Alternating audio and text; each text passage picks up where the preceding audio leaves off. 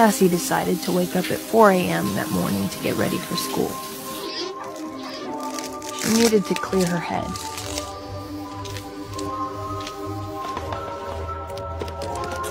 And for those three hours she spent getting ready, she only thought about one thing.